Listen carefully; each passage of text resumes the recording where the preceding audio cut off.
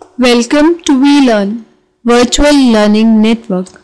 This is session number 24 Women. Topics which we are going to cover in this session are reforms for women in the 19th and early 20th centuries, education for women and women emerging with identity, women's independent political identity, major issues confronting women's unity or united movement, women in politics or politics by women. Coming towards the first topic, reforms for women in 19th and early 20th centuries. The 19th century could well be called an age for women.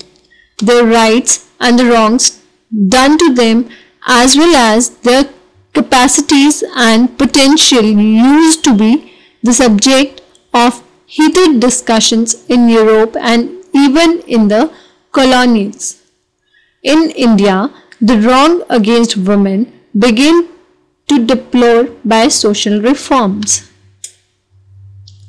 Against Sati, the Indian Portuguese class that was born born out of westernization sought to reform the society by initiating the campaign against caste dualism, idolatry, animism, purdah, child marriage, sati, and the like.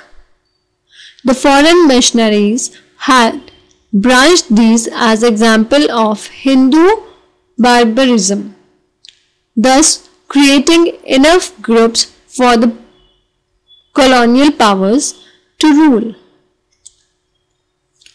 Widow remarriage. In 1950s, Pandit Ishwar Chandra Vidyasagar like Pandit Mrityunjay proved from the Shastras that the remarriage of a widow is allowed. This was a long, difficult journey through debates with orthodox Pandit and joking from some of the pillars of them Hindu society. A widow remarriage association had started in Madras in 1871 but was short lived. 40 odd years since the act was passed, there had been 500, 500 widow remarriages only. Though social reform organization campaigning the cause had mushroomed all over India. The majority of them were child or virgin widows.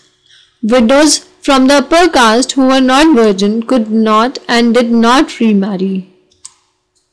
Rehabilitation of prostitute. According to the report of Amrit Bazar Patrika of 1869, 90% of Calcutta prostitutes were widow of whom a large number came from Kulin Brahmin families. The Kulins were the most detestable group of Brahmins whose socially sanctioned livelihood was to go on marrying and collecting dowries.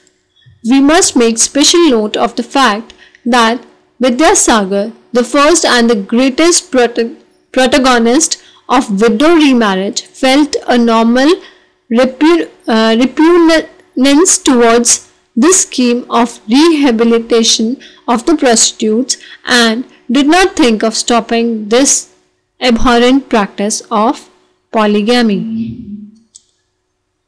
Arya Samaj Swami Dayanand was rather revolutionary for his time. He disowned the caste system and prescribed equal treatment to women, quoting from the Shastras. His Arya Samaj did not impose any duties or obligations on women which could not be applied to men according to the Hindu lawgivers. The Brahma Samaj that started as a protest against idolatry, and the backward pulling norms and rituals of Brahminical Hinduism was not free of this stereotype nation about girls and women. The nation continued till the later stages of our freedom movement. The only dissent voice was of Subhash Chandra Bose. Prohibition of child marriage.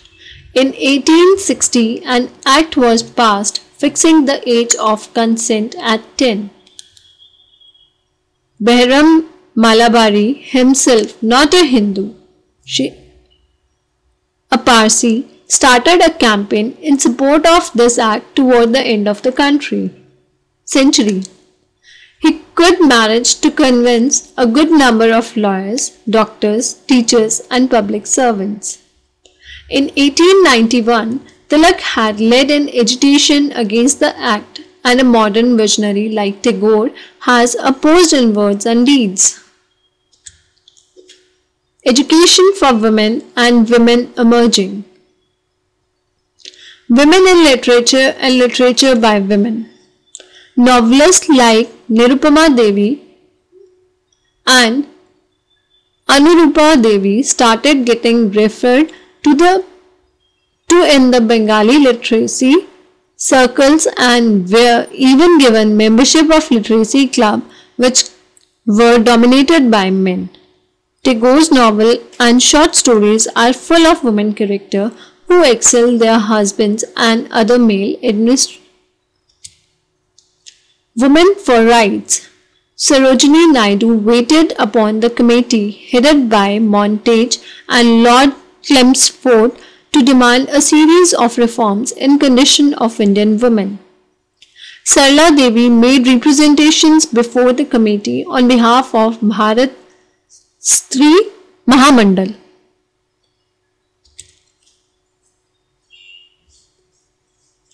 Mai Bhagwati and Updeshika of the Arya Samaj had a confidence to speak in a large public gathering in Haryana. In 1881, Manorma Majumdar, educated at home by her husband, was appointed Dharma Pracharika by the Barisal Brahma Samaj. As expected, lot of heated debate followed questioning the wisdom of carrying the issue of women equality little too far. Rabindranath Tagore's sister Swarna Kumari Devi launched Sakhi Samiti with the aim of training widows to learn, to teach and thus become the most powerful agent of spreading education among women. Swarna Kumari Devi, daughter Sarla Devi, was uh, strikingly stubborn. She wanted to flee the cage or prison of home and establish her right to an independent livelihood like man. In 1905 to 1908, Swadeshi movement in Bengal reflect the beginning of a woman's participation in nationalist activity on a larger scale. Many of wives sisters and daughters started forming support group for the moment. Middle class nationalism inspired women and girls who gave away jewelry as well as money. Purani Agyavati, a woman member of Hisar Arya Samaj, toured almost all over Punjab, pleading mothers to bring up their son not for government service but as independent manufacturer and traders of Swadeshi. She also tried to convince that strict and bling observation of caste norms prevent the mothers from giving great sons to the nation. Women for Equality Speaking to the Indian Social Conference at Calcutta in 1906, a disclosure on equality began to develop in the late 1910s and 1920s all among women. They used nationalist argument to defend their demands for equal rights. Urmila Devi, a militant woman, defined Swaraj as self-rule and Swadhinata as strength and power to rule over oneself. Prabha Devi worked for the group in USA called Freedom for India and Ireland and Renuka Ray was associated with the League Against British Imperialism in England. Prabhavati married M.N. Roy, the pioneer of communist movement in India and got equally involved with the revolutionaries and the communists. She joined hands with Muzaffar Ahmad, poet Nazrul Islam and Himanta Kumar Sar- Sarkar to organize the scavengers as a member of Workers and Peasants Party. Discrimination against women in politics. No woman was chosen by Gandhi in his long list of 71 marches of Dandi. Well organized women like Khurshid Naoroji and Margaret Cousins protested strongly, but Sarojini Naidu defined and joined the march at Dandi at the final stage and was the first woman to be arrested in that moment. Once defiance cleared the path and thousands of women joined the salt satyagraha. Women's Initiative in Politics Leelavati Mitra helped Vidyasagar in, 19, in 1890s to perform widow remarriage by sheltering willing grooms. Kamini Roy was active in Ilbert Bill agitation, organizing girls at the Bethune School to hold meeting and wear badges supporting the bill. Igor Kamini Nair Samiti mobilized opinion against the ill treatment of women workers by the TP Sint. Women terrorist Kumudini Mitra had organized a group of educated Brahmin women who laced between the revolutionary in hiding women got increasingly involved with the revolutionary group popularly known, feared and revered as terrorist. December 1931, Shanti Ghosh and Suniti Chaudhary shot a district magistrate, Mr. Stevens, who had harassed women more than the law, perhaps permitted. Major issues confronting women's unity. These are communalism and casteism, daily encounters with oppressions against alcohol, against dowry, against sexual abuse, rape, environment and livelihood. Coming towards the communalism and casteism. The issue of communalism was taken up by all India Women Conference in 30s. In 1932, both their district branches and the annual conference organized protest against the reservation of separate seat of women in the legislature applying communal criteria. The Bombay branch got involved in right, belief and the Andhra Pradesh branch started a campaign against religious prayers in the school. Communalism and casteism have taken a horribly violent and ugly form ever since the carving out of the country and communal lines. Intolerance of the lower caste and of the religious and racial minorities has increased by the leaps and bounds. Mobilization among women in protest and self-defense has also become stronger and wider against alcohol.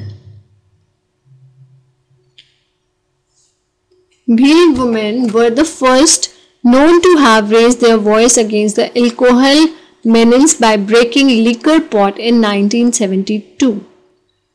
The anti-arrack movement in Nellore in Andhra Pradesh. The unending or increasing improve impoverishment of the family is also mainly because of man's income being wasted in his maintenance. Against dowry. Progressive Organization of Women, Hyderabad, was the first to organize powerful movement against dowry in 1975. Mahila Dakshata Smiti was the pioneer body in Delhi in this regard. Now, its scope, like in case of all other similar organizations, has spread over to all other areas concerning women oppressions and subjections. Against sexual abuse, rape. Against sexual abuse, rape and other form of sexual abuse are the most common and frequent of crimes against women and yet the most unreported. This is the most easily available and ego-satisfying weapon in the hands of male power not merely to overpower women but even to overpower men from the deprived and oppressed communities. All form of male domination in fact were based on women economic dependence. The two primary structure of women oppressions were thus the sexual division of labor and the culture and politics that rationalized it. On the other hand, Mahila Samata Sen uh, Dal, like most other women bodies, believed that men-based desire for sexual pleasure had led them to assault women. Environment and livelihood. Even in the age of highly advanced science and technology, food and all that a human being needs come from nature and environment. It started with women breaking forest laws in pre-independence India. Chipko and Narmada Bachao movement are good example in this regard. The self-employed women Union of South Africa had copied the model in totality and these two of gather have been able to influence ILO to enact international laws giving recognition and protection to the home-based workers. Next is Women in Politics or Politics by Women. First is the Telangana movement, Bodh Gaya movement, Dalit women's movement, Adivasi women movement, movement through literature, theatre and other form of expressions. Coming towards the Telangana movement. Women participation was significant in the Telangana movement for land and related eco-political rights. Though the leadership was with men, the movement could have died early if not for the strong and sustained motivation from the women. It started against the injustice for the British Raj and continued against the continuation of injustice even under their own government.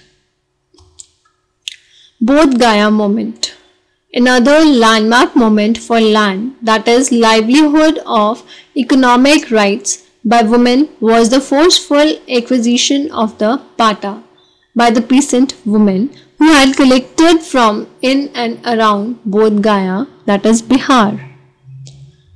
The men were not putting in enough efforts or resources into the land due to drinking and other bad habits. The unexpected success became a terrific inspiration for all united efforts by women. Next is the Dalit women's movement. It will not be wrong to say that Dalit women got first organized by the self-taught Dalit couple, the Phules in Maharashtra.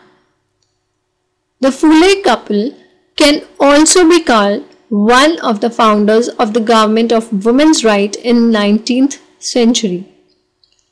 At present, Janvadi Mahila Samiti is the strongest supporter of this movement. Next is Adivasi Women Movement.